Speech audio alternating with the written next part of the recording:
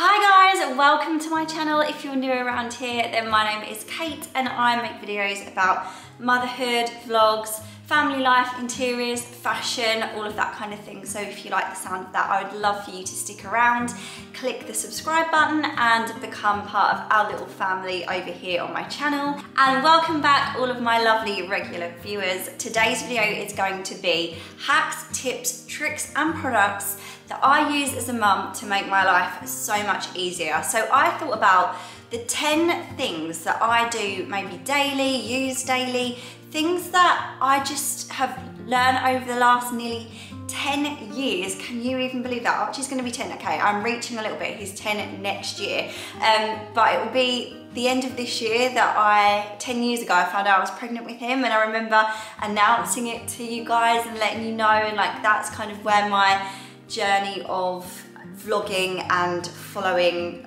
my like life's journey began because before then I only ever did videos where I kind of like talking head videos where I sat and talked to the camera. As soon as you become pregnant you feel like you're already a mum don't you? So for me that's nearly 10 years. Um, it's a long time and I feel like I've learned a lot in that time and yeah these are some things that I've picked up along the way that definitely make my life easier and who doesn't want their life to be easier? So without further ado let's jump into it. So number one is a bit of a tip that I have learned just because of trial and error, buying clothes for three children over the years, I have learnt that sometimes you need to be a little bit smart with your purchases, especially in the first year of their life, when they are changing sizes so quickly. I mean, in the first few weeks, it feels like they get one use out of certain, um, certain items of clothing. But even in that first year, it is generally every three months they go up in a clothing size.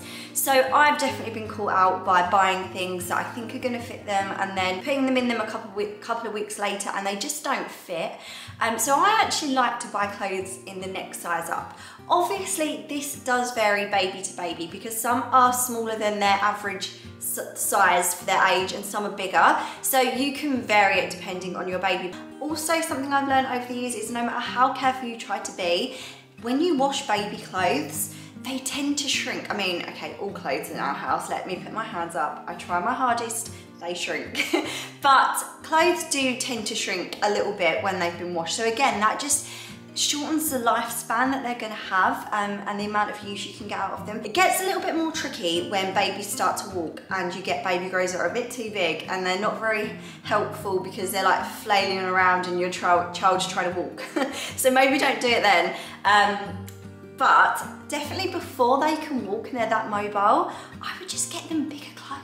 You know, you're indoors most of the time anyway. You can save some nice outfits for best when you're going out, but that would be one of my first top tips. Um, just get bigger stuff it will last you so much longer and you'll spend less money. My second tip is actually a product that I want to share with you. We've been using these for months. I think ever since they first came out because I remember seeing the advert for them on TV and I genuinely thought it was a genius idea. So the minute Finley could fit into these, we started using them and I will explain why in a second.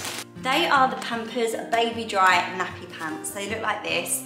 Um, like I said, we put them on Finley the minute we could because we were experiencing what Pampers are calling poonami lag.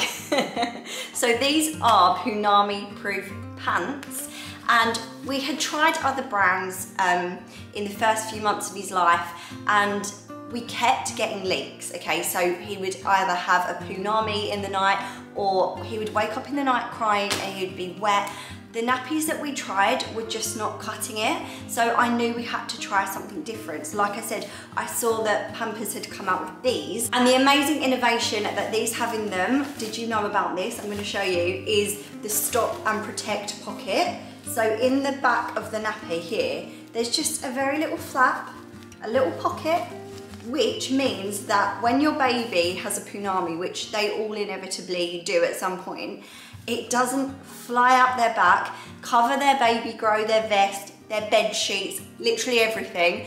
Um, it goes into this little pocket. It was just genius. So when Pampers asked to work with me, it was just such a natural, like, of course, yes, because we have been customers, we have been buying these, like I said, for months and completely rate them. Not only that, they have the 12 hour protection, so we have really good night sleeps now and we don't have poonami lag, which is like jet lag.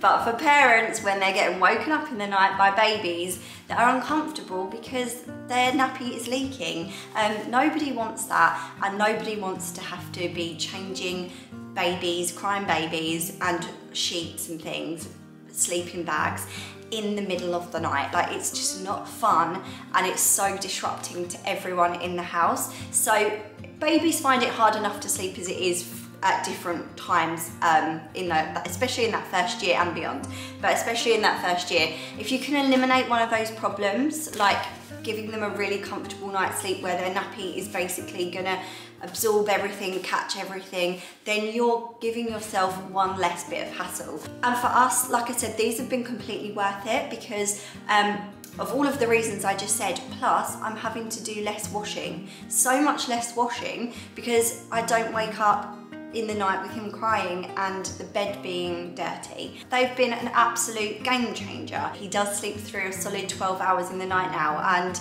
I cannot tell you what a difference that makes to all of us in the house, our overall, especially me and Rikki, our overall well-being and our, just our mood. We're not snapping at each other, we are happier, and it just makes you better parents when you get a full night's sleep. I know it's different for all babies, all parents, and if you're in the thick of it right now and it's a hard stage, it will get better, I promise. Um, but yeah, there are different things you can do. I'm gonna talk about another sleep tip that I've got in a minute, but honestly, I promise these have been incredible for us. And if you want to try them for yourself, if you don't believe me, you can actually get a free full value coupon um, in the description box below. So if you just pop there after the video, click on the link, um, you can get sent a coupon and you'll be able to get a pack of the um, Pampers baby dry nappy pants completely for free for you to try out on your baby and see what you think. Oh, another thing I love about Pampers Nappy Pants before I go on to the next thing, something I've always loved about them, is the little sticky tab. I'm not gonna ruin it right now because I wanna use the actual nappy, but you just roll them up when it's dirty and you're getting rid of them, and you use a little sticker to like seal them up to make this little nappy pile, and it's so handy because it stops the nappy just being, you know, you get the picture. I have been joined by my lovely Elliot. Hello, sir. Hello. he wants to show you something that we use all the time to stick with a bit of a routine. And I actually think kids prefer to have a set routine. I just think it, it is so beneficial to them. Um, he's holding it up quite nicely now. What is this?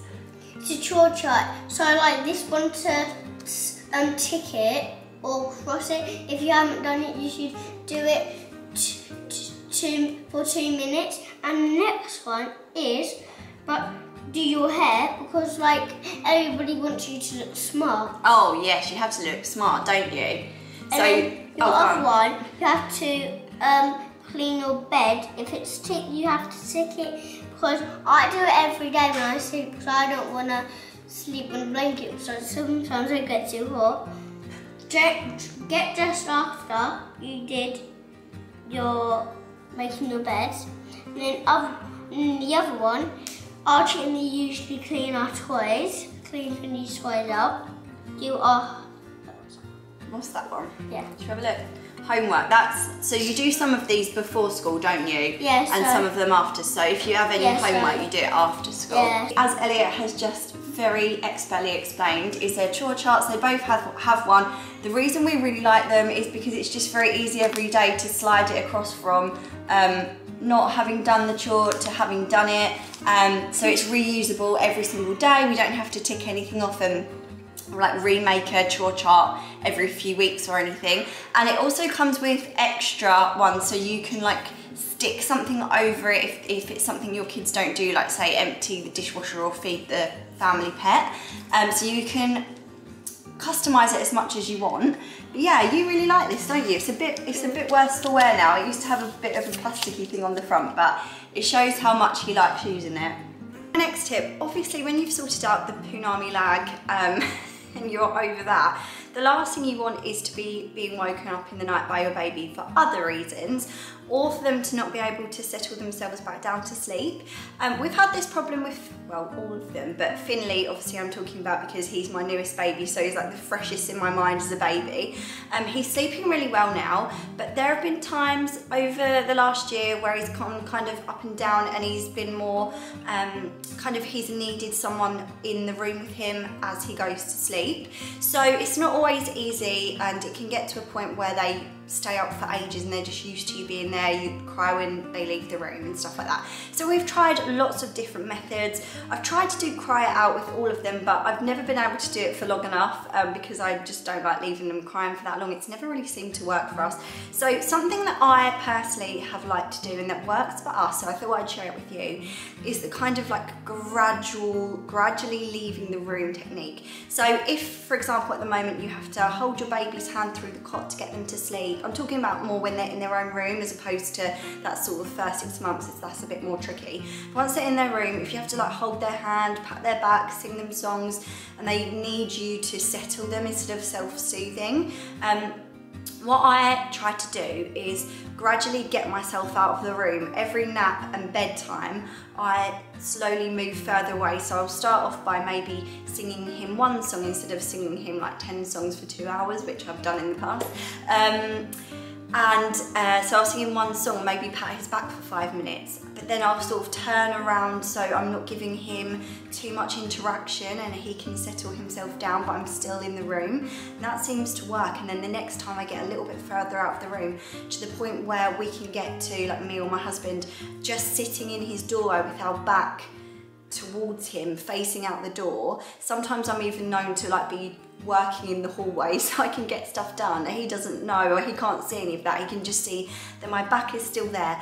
And when I feel like he's settling down quite quickly with this, then I'll try and not be in there at all. And I find that that does really work. It's a gradual process. You could probably do it over a week or maybe more depending on how upset they get. Um, they do get used to it really, really quickly. And another quick sleep um, getting them to sleep technique I've had.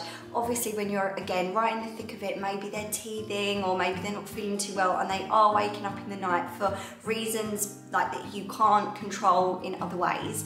Um, I've been known to get a pillow and a duvet, as probably all of us have, and slept on their floors. but obviously it's not good for the old back. So what I sometimes do, tell me if anyone else has already done this, I'll, once he's gone off to sleep, if he keeps waking up, I'll put the pillow on the floor and then bunch the duvet or the cover or my cover up as though I'm asleep under it. Um, so it looks like I'm there. So when he turns around and he's all sleeping, it's quite dark, he'll think I'm still there, but I've actually gone back to bed. Try it, let me know if it works for you because it has worked for me many times. So the next thing I love Obviously we all love being organised, easier said than done, but one thing that we can often forget to organise, it becomes such a mess, especially with kids, is the car. Um, one place that I find is a really good place for added storage, which really doesn't take up much room, but it's so handy, is to have um, a boot caddy, so like a back of the seat storage organiser. It just clips onto the headrests on the backs of the seats. Um, and we fill this up with things that we might need either like in, not an emergency, but you know, when you're out and about and you've maybe forgotten something, as again, we've all done as parents. Um, so I put things in there like nappies and wipes. Um, we've got a first aid kit. This one is incredible. It might be a bit OTT. You don't necessarily need something this extensive. Um, I just got this one off Amazon because it was very highly um, rated. I, I put other things in there like a spare change of clothes, blankets, um, maybe like a few toys in there as well. Just if you get caught out, you know, there's been plenty of times where I've gone out and I haven't packed his nappies, I haven't packed his wipes, I haven't packed a spare outfit and you're like, oh my goodness, I feel like the worst mum or what am I gonna do? But if it's in the boot, you can just chuck it into their baby bag and you're like, I knew I did that for a reason. So our youngest is at the age where he just wants to get into every single cupboard and get everything out. So we've been looking into the child safety locks and which ones are the best ones. And I wanted to show you ones that we really, really love. So these are the Aycorn magnetic safety locks. They work on in-frame kitchen cupboards like ours and also just regular kitchen cupboards. So they're really, really clever because all you need is this little magnet to open your cupboards, um, which we find really handy because when we have the kind of more traditional cupboard locks, if we want to keep anything locked that we don't want the older boys to get into, they can really easily just put their hand in and open it like us, which is good for cupboards that they need access to. But if there's any that we really want no one to get into, for example, like the under the sink cupboard, these are fantastic. Let me show you how they work. So on our under sink cupboard, we do actually have a little latch, but it's more for show than anything. It's not that safe, they can still get into it. So even with the latch, when I open it, they're not getting in there. But when we pop this on, if by magic, ta-da, it opens. So the installation of these is really easy as well. They come with a sticky pad on the back of all of these. You get about 10 of these latches in a pack and then just stick them on inside your cupboards and you're pretty much ready to go. Hello, you've joined me in the kitchen for a little kitchen hack. Um, this isn't rocket science, but pizza cutters, don't underestimate them and don't just pull them out of the cutlery drawer just when you have a pizza. Um, I actually use this to cut so many things up from cutting up bread. I find it easier than using a knife. Um, it's really good if you've made tray bakes, sorry if you can hear the dog, tray bakes like flapjacks or anything where you just need to cut things into squares, even if you've made like brownies or something. This is so, so handy to have. It's also really handy sometimes to chop up like herbs and even some salads and stuff. Another thing I like to cut up with this is quesadillas because you can cut them into like little pizza wedges and it's kind of a little bit safer for the kids to use as well. So if they're helping out in the kitchen, they really enjoy cutting things up with the pizza slice. It's a little bit of a novelty for them and a little bit more fun. So I thought I would include this little hack because I find it really, really helpful in the kitchen. So we can often as parents feel quite guilty about our kids having screen time but in a modern world it's just kind of unavoidable. Obviously my children do watch things that aren't educational um, but I try and get them to play games and watch things that are educational as well and it, it can be hard to get that balance between them having fun and learning but there are a few things that I really really love. Um, one is called Miss Rachel. This is for babies and probably babies and toddlers. Um, it's something that we recently discovered for Finley she's a YouTuber she's absolutely amazing um, you can watch these videos that help them with their gestures from a really young age so she teaches them to sort of wave and um, nod, shake their head, just really simple gestures like that and also they're talking, saying mama, little songs to sing mama, dada, all of the simple first words. Obviously as parents these are things that we're doing all of the time. Uh, I'm constantly asking Finley to try and say this, try and say that, wave, do all of the little things that you do.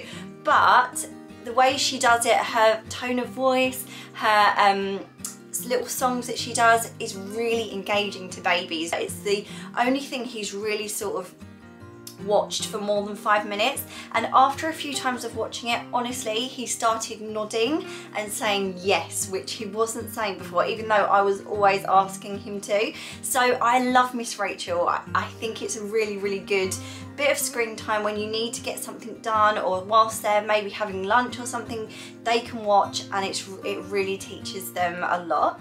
And for older kids like Elliot's sort of age so he's five six and, up he loves this app called Lingokids. He's playing on it right now. And again it's an educational app. They do spelling they do maths. There's actually so much oh, on there. um, but he loves it. Like any chance he can get, he will be on Lingokids. So I'm gonna show you what that's like really quickly now. So what do you have to do on this? You like have to like swipe it to jump. Yeah. And like you have to like miss the gaps. And what do you have to collect? You have to collect like whatever they show you, like the mouse. So you have to collect a mouse. Yeah. To spell out the word. No, no. Yes. So it's nearly Finley's bedtime now. Excuse the lighting, it's not the best in here, but I realised I just had to quickly that is a toy in his room. I had to quickly run in here and show you this next item because I can't show you when I film some of this video later on this evening because he needs it to go to sleep. So that's how much we use it. We use it every single day. This is his white noise machine. I have spoken about white noise for years, ever since we had our first baby and discovered that it really, really helped him to sleep. Not all babies like white noise, but a lot of them do. With Finley, our youngest child, we've probably used it more than any of them altogether. One of the reasons is because it's not great for babies to be in really, really quiet environments. I feel like when you first have a baby, we did especially, we made it so that we kind of tiptoed around him. Everything had to be quiet because he. But actually, now that we've got two older children, we've got two dogs, we've just had a huge house renovation, there is no way we can put our baby down for a nap or to bed at night and it be quiet. It's just not. So this kind of means that there's noise in the room, but if there's any sudden loud noises like the door goes and the dog barks or the one of the boys shouts or screams or something, this kind of just blocks all of that out and there's just one continuous noise. So I think that's really good because it helps with the rest of our family life not having to tell our older two to just like shh, be quiet all the time because it's not really very fair. Um, this little gadget has been brilliant because it's portable, you can charge it and you can use it on the go, you can hang it from their pram and stuff, um, but also you can plug it in so it can run all night long and that's pretty much what we've done since he was born and he sleeps with it on every night. This one also has different sounds that you can get on, on it. Very, it can be very loud, it sounds like an aeroplane, but the good thing about it is you can turn it right down. Um, it lights up. So this is really handy if you've got a baby like us that when he's not sleeping that well kind of keeps chucking his dummy out of the cot. If you're in a dark room you can use it as a little torch to find the dummy. Um, there's also like a mode on it where it flashes kind of on and off slowly. We don't really use it but you know it, even if you wanted your little one to have a little nightlight in their room, it can just be a continuous glow. It's not super bright, but it just adds a nice glow to the room. Oh, and it's got a timer as well. So if you don't want it to run all night, you can put it on for half an hour, an hour, or an hour and a half. Um, which is another handy little feature. They thought of everything. I would say if you've got a new baby and you want to check out if your baby likes white noise before you know, investing in something like this before buying something, um, you can find free white noise videos on YouTube which run for like eight hours or on apps. You can get white noise apps on your phone but obviously it's not always practical for your baby to have your phone when they're napping, you probably need your phone. Like for example, I work a lot on my phone, so that's a very crucial time for me to be using it. Um, so yeah, this just means that you don't have to use your phone, but it's a really good way of testing out whether they like the white noise and if it helps them to go to sleep. Some young babies go to sleep like that with white noise, it's like magic, especially when they're really young. So definitely try it out if you haven't already and you're struggling to get some sleep. So my next hack is one that helps the kids to tidy their rooms and to make it fun. So along the lines of Elliot's chore chart he showed you, one of their jobs around the house is to keep their rooms tidy. Obviously that doesn't always happen as you can see. So I like to remind them how to do it by making it into a fun game. So this is what I like to do. Are you ready for a tidy up speed mission? Yes. Okay, so I'm going to set you challenges around the room and I'm going to see on my stopwatch how quickly you can do them, okay? Are you ready? Okay, Elliot, your next challenge is how fast can you make your bed? Ready, go.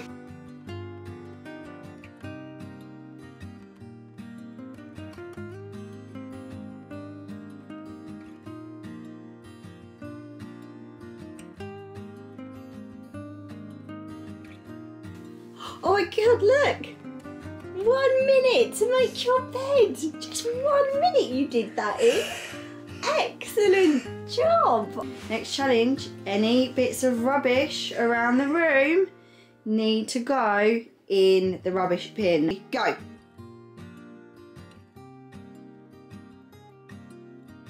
Right, I think the last mission is put any toys that you can see on the floor or where, where they're not supposed to be away. Ready, steady, go.